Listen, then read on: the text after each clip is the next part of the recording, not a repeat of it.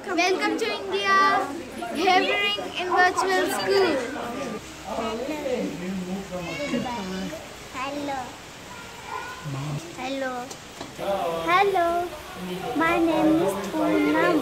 My teacher name is Welcome to India and so hope Havering he virtual virtual school. school. Perfect. Thank you. Thank you. That was brilliant. My name is Kajal. My teacher name is Jaina. My name is Suhana. My name is Varvat. My name is Isha. My name is Karan. Yeah, I'm really excited. Like, it's like because it's completely different. It's not like teaching in school in England. It's like you're teaching another language. Like you're trying to make kids understand you in another language. Like, so it's going to be hard, but Mhm. like, I'm excited as well to like meet the kids, like to help them. Like, I really just want to be able to make a difference and help them. Very nervous. I must admit, at the moment, I'm not really feeling that confident, really. Um, but hopefully tomorrow that will change. I think I'm just underestimating the task at hand, so I just need to, you know, like, what's it? Zone out and just forget about everything that I've been taught and just kind of go into it with an open mind. stress, absolute stress. Carbon paper is the worst. Sitting there and you can't move the paper because otherwise it all overlaps and you look at it and you think, oh, got to do it all over again and it's absolutely horrible. But apart from that, it's been fine. Something that I'm fearing slightly is how they're going to understand me and how I can kind of convey like what I want them to do as well. Like mm-hmm. if I ask them to, I don't know, say something, I want them to be able to like understand that I want them to say this. Or at the moment, I just feel a bit nervous. I, I was like that before I did my primary school thing. I was so nervous because you don't know how the kids are going to react to you. Yeah. Like you, d- like you don't know if they're going to like you. You don't know if what you're saying and what you're trying to teach them and help them with is going to come across right. Yeah. But don't. Honestly, you'll be good at it. You'll be so good at it. Look, go have a shower. Don't stress. Plan how you want it, but understand that it might not go to plan. You'll be fine. I believe in you. Uh, I feel confident about teaching them about animals. I'm, I'm looking forward to it, but I'm just a bit nervous about my side of things. So I was, I've never taught before. So. I think- I think I real, I've realised how um, hard it is to be a teacher as well, and how much effort you have to put in, and how much of like how much energy, how much like concentration as well, and the planning as well. So I think I've realised how hard it is to be a teacher. In general, teachers have a very heavy like, workload. Playing art, like I, I wouldn't be really sure how to deal with that. I know like sometimes it can be hard to control a class as a teacher. So that's kind of like another fear. I just feel like it's going to be really difficult to try and like uh, communicate, but I'm going to try my best. So. But at the end of it, I hope like I'll learn something new, and I hope they'll learn something new because I want them to, you know, like education is a valuable thing, and I just think if I can give that to someone less fortunate, that will make me like really happy, you know. School today was really good.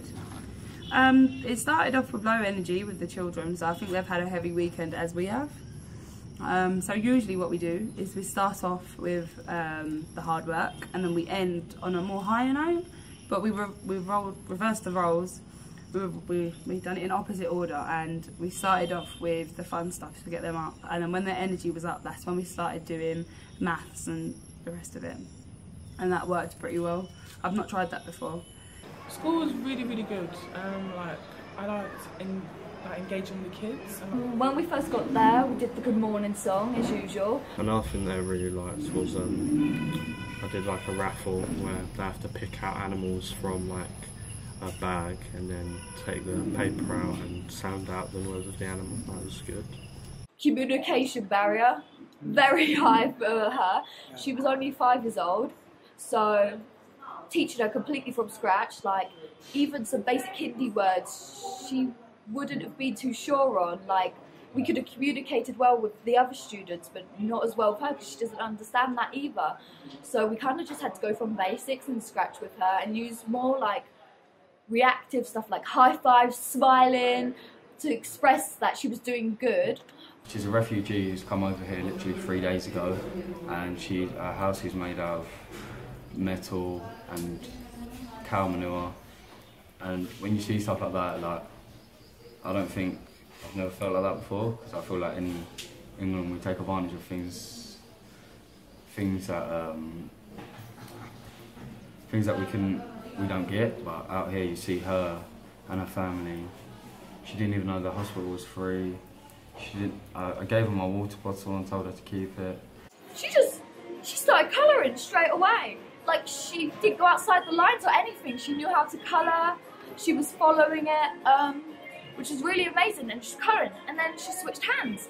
and was current with the other hand. So I think she's am- ambidextrous. It brought tears to my eye, obviously. Um, when you see stuff like that, it's just like, you, you should be grateful to have stuff, you know. But yeah, it's just upsetting.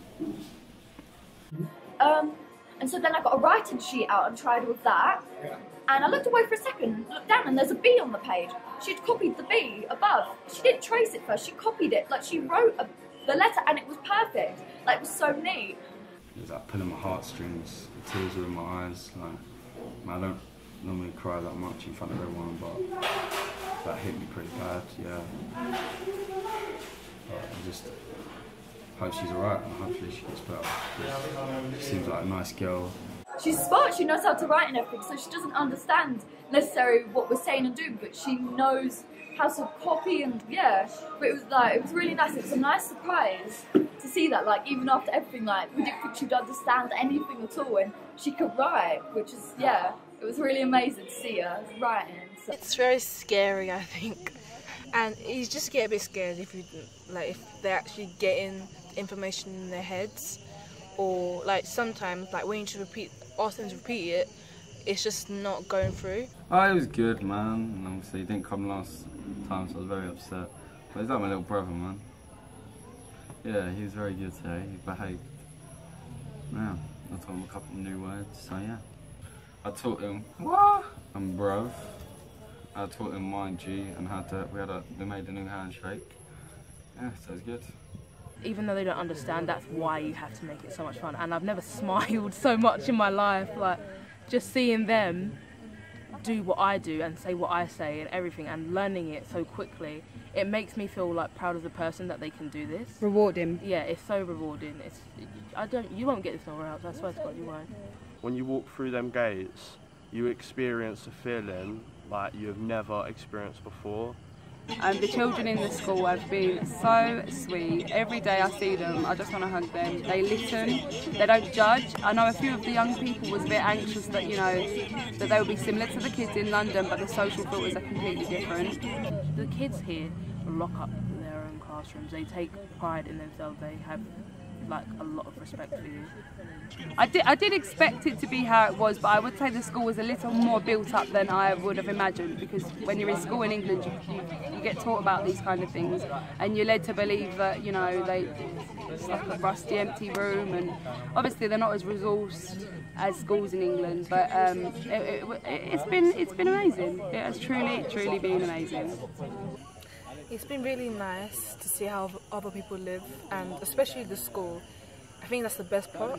Like it's weird how like they know so much English, and if if you say to me, oh yeah, how much Indian do you know? I'd be like none. Like I wouldn't know. I wouldn't know any. The way they like interact with you is really good. Being able to make them happy and smile for education, and also because obviously education can um, lead to like loads of opportunities. So in that way, it's like a double achievement.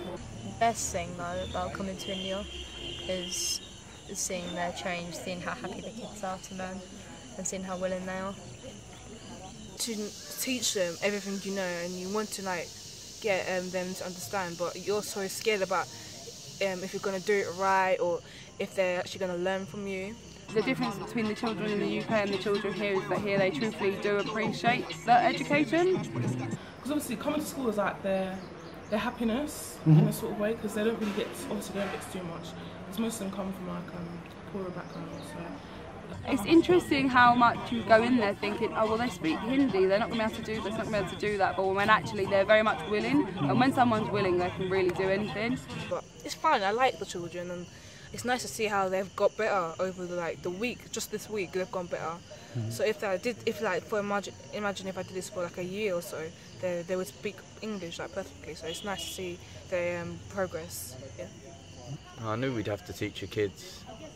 I thought it might be more of like a chore. Like we'd come here to teach them and then we'd enjoy the like other things as like kind of our reward for teaching them. But it's actually been really great teaching the kids as well and getting to see them and everything. Levi, the teacher. I love that title because I want to be a teacher when I'm older. So that's a, it's a lovely, lovely title. Perfect. It suits me perfectly. I'm not really spiritual, but it's like a good like feeling that just hits you when you see them kids and they're picking up the things that you're teaching them. It means so much to me. Like it just makes my heart melt seeing them every day smiling, you know, very very keen to learn. And even when um, it was raining for the past couple of days and they had a government day off where they didn't have to come to school, so many kids still turned up. And for me, that just shows that they value education so much. Um, I've loved being a teacher. I've loved every single minute of it. It's been stressful when the kids don't pick it up and then you have to repeat it um, over and over again. But it's been really worth it. Um, it's open, broadened my mind in the sense of I don't just want to stick to the career path that I've chosen. It's made me realise I think I have a calling in other sectors. I'm a bit upset because obviously it's the last day, but if anything, I'm like proud of myself and I'm quite proud of everyone because we have taught them quite a lot of stuff, and I think that is like the most valuablest thing that I could have got out of this to be able to teach someone English so that in the future they can use it. Uh, This trip has been really hard, but I wish I could stay longer. It would have been so much nicer to get to know the kids more. I'm a bit upset, man. Like obviously Junior Kane and that.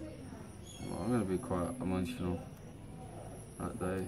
So you know, just gotta stay strong. Karan, he's really, really adorable. Um, holding my hand and that, giving me his biscuits. He's really, really cute. But goodbye is one of those things you've got to learn in life. So. We are thankful to you people. Bye. Goodbye. Princess. Princess. Yes. And Levi. Levi. Goodbye. Olivia. Olivia. Goodbye.